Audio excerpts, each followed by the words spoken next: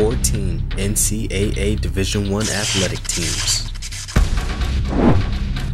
All above a 3.0 grade point average. You might think you know our story, but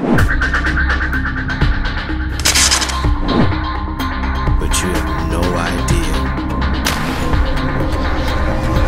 Coppin State Athletics. Hard work, that's part of the curriculum.